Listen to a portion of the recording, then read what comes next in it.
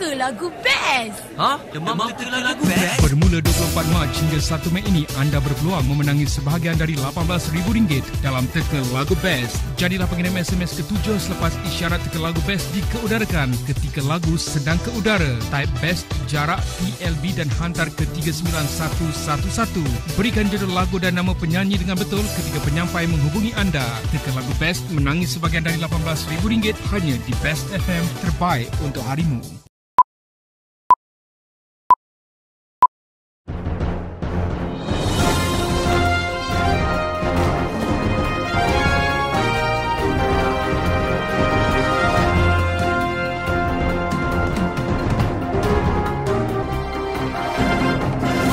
Antara paparan menarik dalam edisi Buletin Selatan 18 April 2015.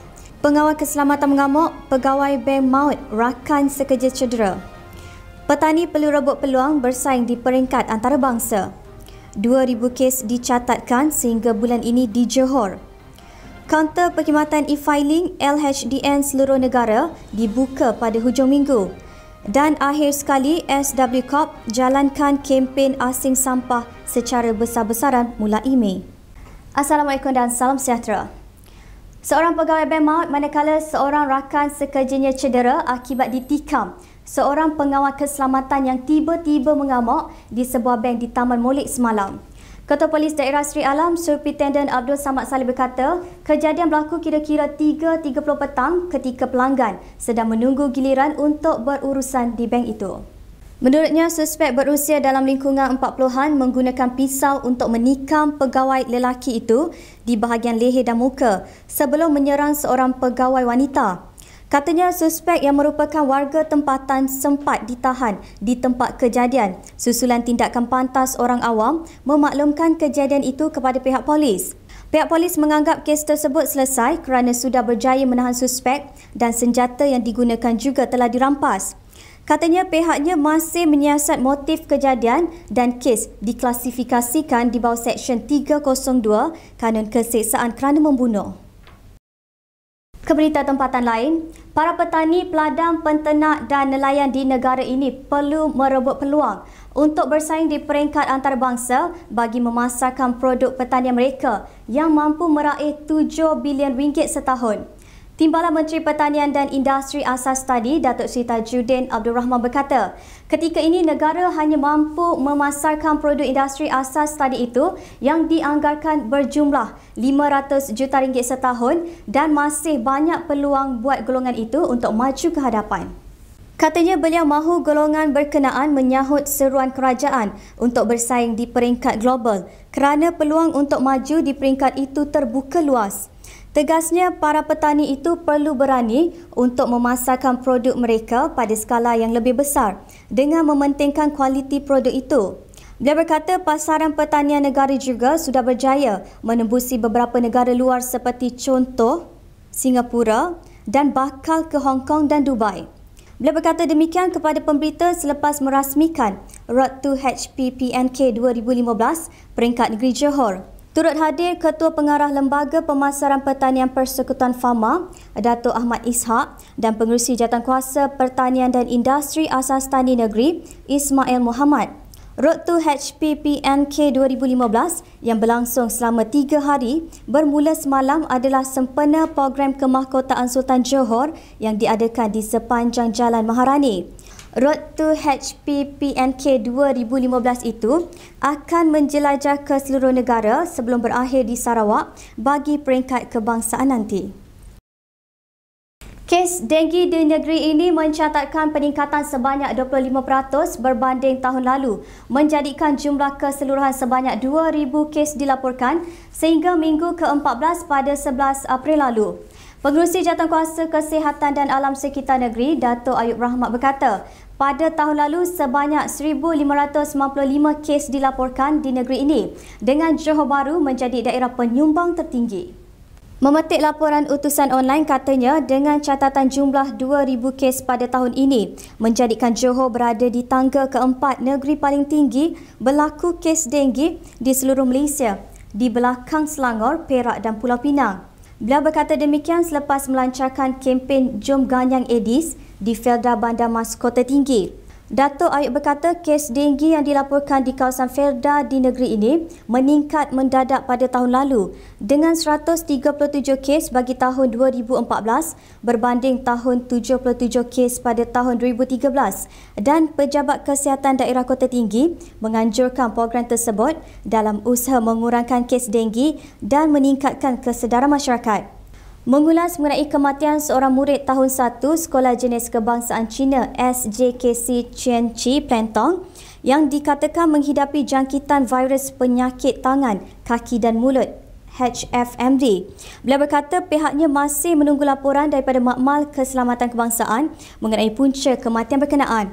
Beliau turut menasihatkan ibu bapa dan guru untuk mendidik murid-murid menjaga kebersihan dengan sentiasa membasuh tangan selain memastikan persekitaran sentiasa bersih bagi menghindari virus tersebut.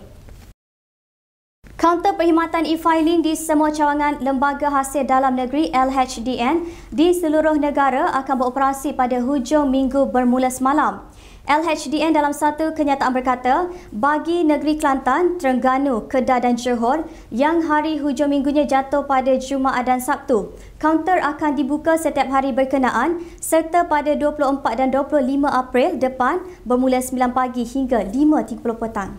Kenyataan itu berkata kaunter berkenaan dibuka pada hujung minggu bertujuan membantu pembayar cukai yang tidak mempunyai kemudahan internet untuk menghantar borang nyata cukai pendapatan menggunakan e-filing. Sehubungan itu, LHDN meminta pembayar cukai menggunakan kemudahan yang telah disediakan dan memastikan borang nyata cukai pendapatan mereka dikemukakan dalam tempoh telah ditetapkan. Sebarang pertanyaan berkaitan dengan hal ehwal pencukaian boleh diajukan kepada Pusat Panggilan LHDN di talian atau dikemukakan melalui borang maklum balas pelanggan seperti yang tertera.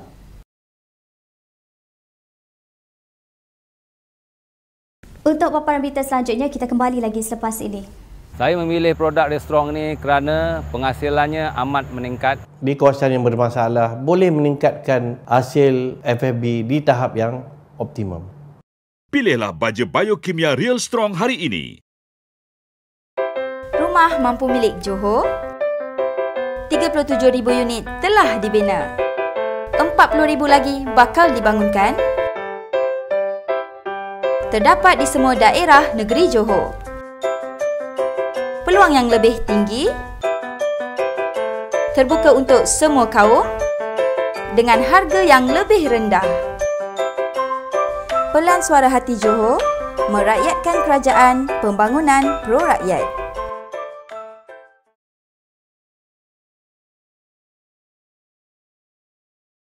Kembali semula.